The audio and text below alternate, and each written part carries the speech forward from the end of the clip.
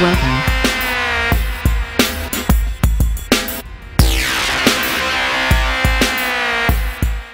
Fala aí pessoal do YouTube, tudo beleza? Começando mais um vídeo aqui no canal e galera, antes de começar o vídeo eu quero pedir para vocês uh, deixar seu like, inscrição e comentar aqui embaixo sobre esse vídeo que eu vou falar agora. Galera, se, se vocês me acompanham, para quem me acompanha desde, desde que eu criei o canal, eu fiz um vídeo falando inglês. E eu vou te dar para vocês três dicas de como aprender a aperfeiçoar um inglês rápido. Ah, mas como isso? É o seguinte, aperfeiçoar uma, um idioma é sempre bom. Seja ele qual for, inglês, espanhol, alemão, italiano, francês, seja qual for. Se é uma língua que você gosta, melhor ainda. Você gosta daquela língua você quer aperfeiçoar? Beleza. Assim, quando você vai numa escola de idioma, você começa desde o básico. Uh, as coisas, objeto, como falar oi, bom dia, não sei o que e tal. Mas assim, eu fiz escola de idioma, fiz inglês de escola de idioma. Só que o aprendizado é muito devagar. O aprendizado é muito devagar, porque começa do zero, para quem não sabe nada do idioma. Eu já tinha um pouquinho da noção do inglês. Então o que, eu fiz? Escola de idioma para mim já não estava servindo. Os caras cobravam taxa, taxa, taxa, uh, taxa não, cobrava, cobrava direto. Em menos de um mês já cobrava acho que duas vezes por mês e não estava dando certo. E o aprendizado, o aprendizado é muito devagar. Então o que, que eu fiz para aperfeiçoar meu inglês? Eu comecei, ó, primeira dica. Ouça música internacional. Por quê? Porque assim, às vezes é, você tem que pegar uma letra que não seja tão difícil. Digamos assim, é uma letra fácil. Ah, uma banda fácil para você, pelo menos, aprender a falar inglês é os Beatles. Por que os Beatles? Porque eles têm um inglês não tão avançado e não tão simples. É um inglês intermediário, é um inglês assim. Não é, não é um inglês difícil. Por quê? Eles realmente cantaram esse. um inglês simples para todo mundo entender, para não ser tão difícil de entender a letra da música. Por isso que eles fizeram as músicas tão simples. Então, é, Beatles é uma banda que eu recomendo para você que quer aprender inglês. Qual outra banda? Deixa eu ver. É que o Beatles é o básico. É, tem outras bandas também, acho que é. Nickelback. Alguma uma outra música. A Hero, Nickelback Hero. Não, a letra da, da música não é tão difícil de entender. Você tem pelo menos um.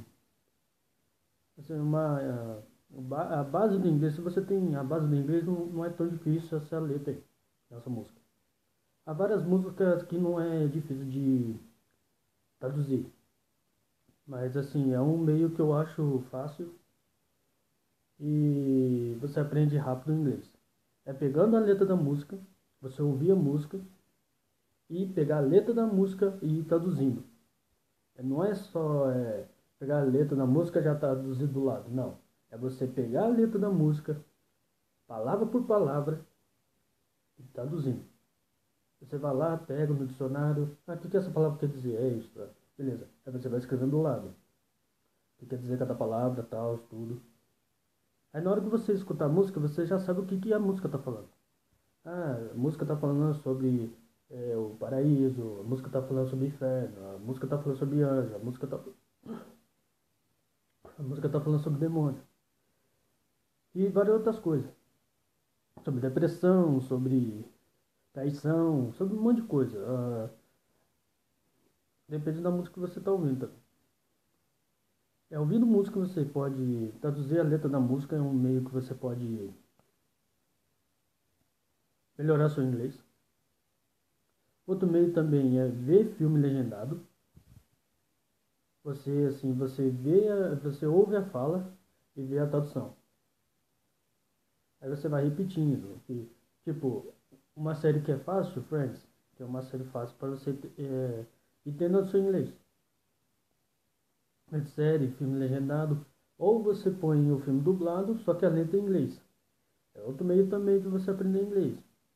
É, com a legenda em inglês você aprende como escrever o inglês. Mas o bom é você aprender a falar e depois você aprender a escrever.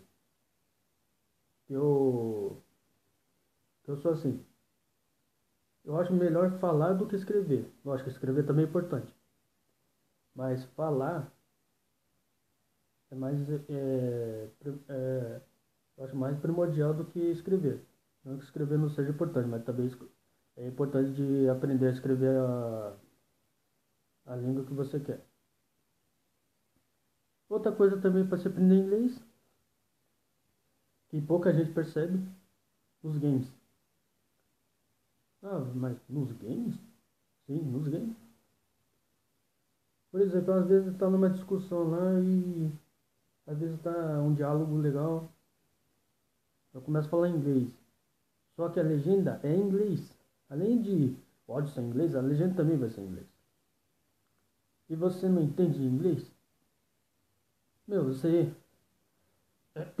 Você vai praticando. Eu falei, pô, mas eu não, eu não entendo o que o cara falou naquela parte do jogo. Meu, ouça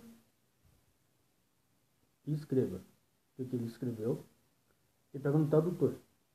Ou você mesmo traduz, pega o dicionário e vai traduzindo. Lógico, daí é um método assim que pouca gente faz hoje em dia, mas. Outra coisa também para se aprender inglês, gente. É... é música, games e vendo filme legendado. Agora outras coisas para você aprender inglês. Ou você pegando um livro em inglês, você consegue treinar um pouco de inglês, fazer um pouco de exercício de inglês, tal, dos diálogos. Bom dia, boa noite, boa tarde, objetos. O que é mais chato das línguas é o verbo.